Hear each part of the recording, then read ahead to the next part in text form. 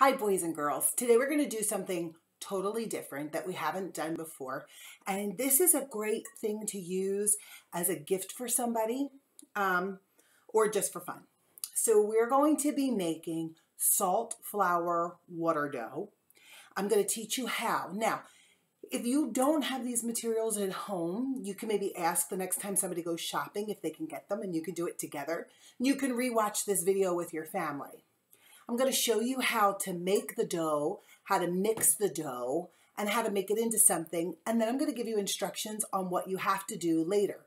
There's going to be two videos that go with this. There's going to be the making of the dough video and the making of the project. And then there's going to be what happens after you bake it because you have to bake this. So you definitely will need adult help. So Part of my head's going to be cut off in this video because I wanted you to see everything I have here on the table. We're going to start with two cups of flour. So flour usually comes in a nice big bag like this, and it will have this gold seal on it. It's very messy, mm-hmm. so please don't make a mess. Your families will be upset with me and I need two cups of it. So I have a measuring cup and in the middle falls two cups. You can use also smaller dry measure cups, but I don't have those. So I have to use what I have, just like you guys at home. So what I'm gonna do, I have to open my bag a little better and don't laugh at me if I spill it all over because you know Mrs. Jones, it's a good chance I'm gonna spill it all over. so I'm gonna pour it into my cup. Oh, I'm doing pretty good for myself here. All right, good job. Ugh, don't spill it. Don't spill it. I didn't spill it. Okay, let's see. Exactly two cups. So it lands right on the two. And I'm going to pour it into my big bowl. That's step number one. So I'm going to take the flour. I'm going to move that out of the camera's view. And the next step is salt. You will need a cup of salt. So it's double the amount of flour or half the amount of flour for the salt. So here we go. So two cups of flour, one cup of salt, in case I just confused you, because I kind of confused myself. Good thing Mrs. Jones is the art teacher, not the math teacher. right, Miss Fields? Okay, so let's see. I'm going to keep going. I need an entire cup. That's a lot of salt. It's a lot of salt. So you have to make sure that you're allowed to use this amount of salt. So there you go. It's at the one cup mark. And I'm going to go ahead and I'm going to pour it in. So now I have my salt and my flour, so it's kind of like I'm baking a cake. I'm going to roll my, look at that, I already the mess. I'm going to roll my sleeves up and I'm going to start to mix it a little bit so it mixes together while it's still dry. Because the next step is a little hard. The next step is going to be adding the water and mixing it with your hands. I'm wondering if we should mix with a spoon first. Well, I don't have a spoon, so I'm going to use my hands. But you might want to try a spoon at home. Mrs. Jones should have brought a spoon in here. But here we go. Anyway, I'm going to do it. So I'm going to add one cup of water, which I already had pre-done, pre-made. Some recipes online will tell you to mix in one cup of boiling water. Of course, I don't agree with that because you're going to be putting your hands in it.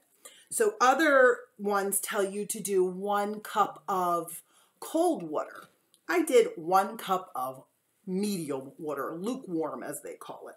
So I'm mixing my dough. And as you can see, it's starting to get stuck on my hands, right? Because it's very pasty. I'm only using one hand right now because I'm going to need my other hand to get the dough off. And I'm going to start to knead it. So now I'm taking it the extra off and I'm going to pull it together and I'm going to start to knead my dough until I'm able to get most of the loose granules up. And as you do that, it's going to start to feel like Play-Doh and less and less of it will get stuck to your hands. So see, not as much as getting stuck to my hands. Because, so you can't be afraid to do it. You can't be afraid to make a mess. You can try with a spoon first, but once the, it starts to get really stuck to the spoon, you're going to have to take it off. Okay. So I'm kneading it. I have, see how I have a nice big bowl too? because I don't want to get it all over my table yet. I'm not ready for that. And what I'm going to do, I'm going to do two projects so that you can see. You could do one of these, you could do two of these. But now I have, it almost looks like bread now. See that? So now, guess what I have, guys? Clay. And especially for my friends that didn't get to do clay with me this year, this is a way that you can make a type of clay at home. And guess what? Because you can bake this in the oven and it won't hurt anything, it's a good way to make a nice permanent clay. You can't drink water out of it or put food in it because the paint that you'll use and the varnish that you use for this isn't good for food. However, you can make some really cute things. But I was thinking, during these times, we're all stuck inside together. And I thought it might be nice if we did something that reminded us of this time when we've been together all the time, right? Because even though it's hard, you're going to look back on this in a few years and remember some really special things about it. You're going to remember doing fun things with your family, maybe, or being able to be in your pajamas all day long. Taking classes on the computer for those of you who love to be on the computer all the time. So I'm going to take half of my dough. You could use all of it, but I'm just going to do half. You're going to need a piece of cardboard or something that's not paper to put it on. And what I'm going to do is I want to flatten mine so that I can make it, I'm going to make mine into a circle like this, just like this. So you can do a couple different things with this. If you have small brothers and sisters, they could do their handprint in here, or a baby can do a footprint in here. I'm going to use fingerprints. I think it's kind of neat to do our fingerprints. We could do our fingerprints all the way around to make a design. And everybody in the family can be part of it so that it's something that's special. What I'm going to do, I want my fingerprints to be a little bit longer, not just the tip, because I want it to look like a flower when I'm done. So as I push down, there goes one. So I, oh, actually I should use a different finger, right? Now, you could do your fingers and then you could have maybe your mom do her fingers on the other side. There we go. So now we have a fingerprint flower. I want to remember that this is the year 2020. And so I think what I want to do is I'm going to get a pencil, excuse me. I'm going to grab a pencil and I'm going to dig into it with a 20. I don't know if you can see that. There we go, with a 20. So that's going to stay right in the middle.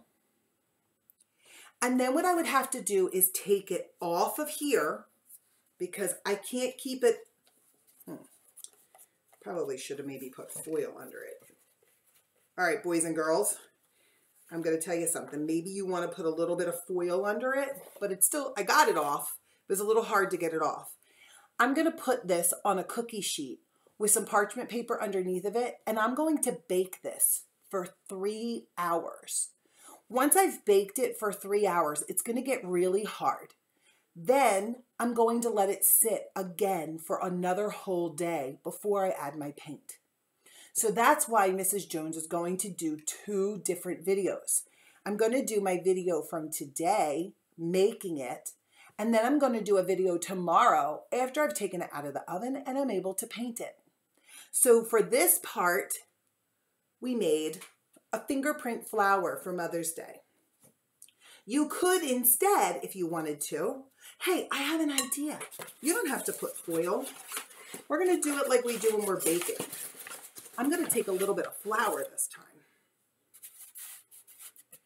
And I'm going to cover my board. And now this time, I'm going to take this one and I'm going to ugh, squish it down because I really want to be able to fit my whole hand print. Now, I'm a grown up, so my hands are a lot bigger than your hands. So when I pull that, when I do this, I might not get my whole hand in there, but ugh, there you go. He did it. my hand. Look at my hand. I did the whole thing. Okay. So same thing. I can go ahead. Ah, oh, the flour was much better. Use flour. And then I can pull it off. And this is also going to get baked. After Mrs. Jones is finished baking it, there's going to be a part two video that shows you how to paint it and how to varnish it.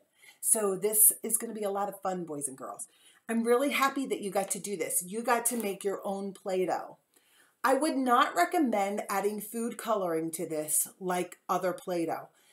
Play-Doh that you find in the containers in the store, the dye that they use to make it colored won't get on your hands. But if you add it to this, it will stain your hands. So that's why we're going to bake it while it's still this color and we're going to add our paint after. This is a great project to do for birthdays, holidays, Mother's Day, all different types of holidays. It's really something that's a lot of fun and I think you're going to enjoy it. So this is video number one and stay tuned for video number two that shows you what to do after it has been baked. Now, if you don't have access to be able to bake this, maybe your oven's not working. Maybe you're not allowed to bake it. Maybe your mom or your grandmom or your aunt or your uncle's like, you are not baking that in my oven. Let it air dry. But you have to let it air dry for a whole week before you can paint it. So some of you are going to see this video back to back.